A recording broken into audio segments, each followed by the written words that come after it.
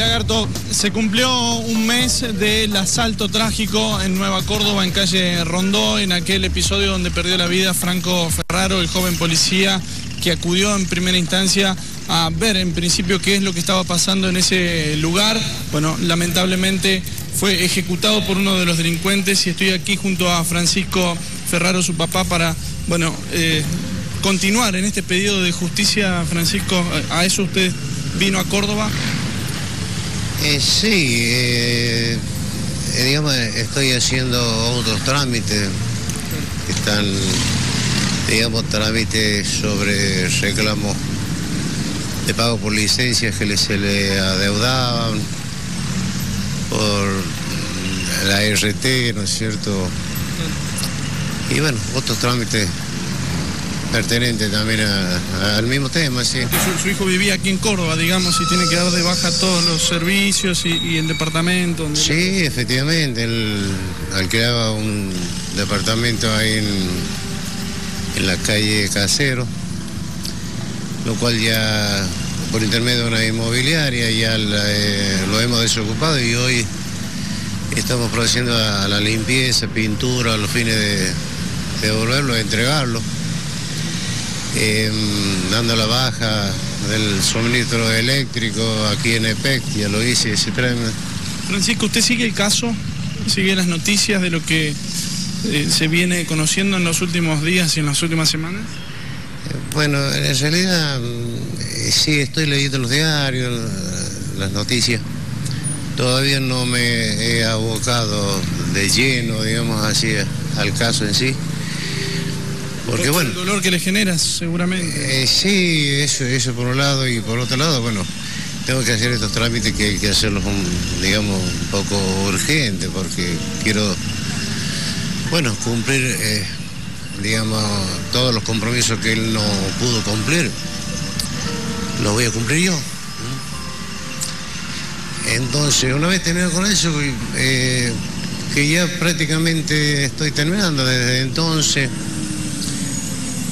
y luego de ello, bueno... ¿Le, eh, interesa saber quién, cómo y con qué arma mataron a su hijo? Sí, sí, sí, sí, sí, me interesa. Como creo que a, toda la sociedad. Pero sí, a mí en especial me interesa.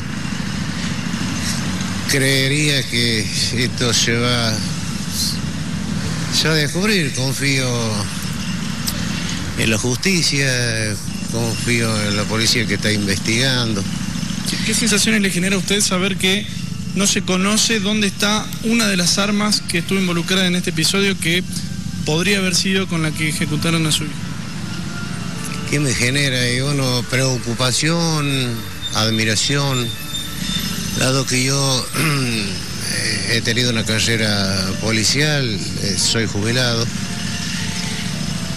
y he mm, tenido procedimientos donde he secuestrado distintos tipos de elementos y para mí han sido sagrados.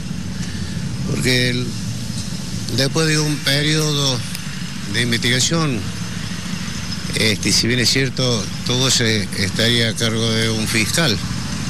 Pero en realidad yo solía tener esos, todos esos secuestros en un depósito en la, dependencia donde yo estaba a cargo. Y bueno, eh, había un momento que en una etapa del proceso había que devolver todas esas pertenencias al dueño. Y bueno, para mí eso era, como le digo, sagrado, porque no era mío, no es solo de, de la persona que había tenido el incidente donde nosotros hemos procedido. Y leo las noticias por ahí, tanto el, la voz, y escucho algunas radios, este, donde escriben eh, cosas, ¿no es cierto? Y medio que me confunde. Me confunde en una, parte donde dice que se había secuestrado una arma, después que se ha desaparecido. Eh, en fin. Eh, ¿Está la familia con asistencia eh, psicológica en terapia por este episodio que sucedió? Bueno, en realidad ¿cómo le puedo decir? Mi esposa, que una de las personas que están ¿Se contienen entre ustedes? más afectadas, sí, sí, entre nosotros, yo tengo que estar ahí con ellas, porque bueno,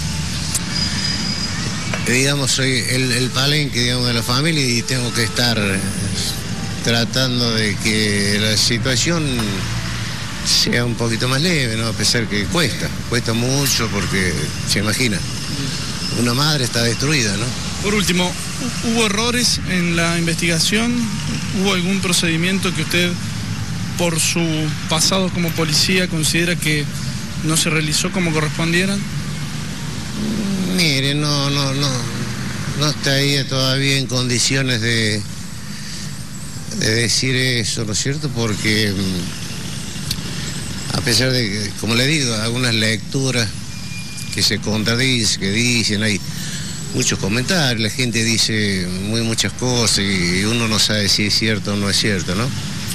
Pero bueno, en algún momento trataré de de abocarse a eso y, y, saber más respecto a la investigación? Sí, sí, seguro. Yo creo que la, la investigación está, está, a cargo de un fiscal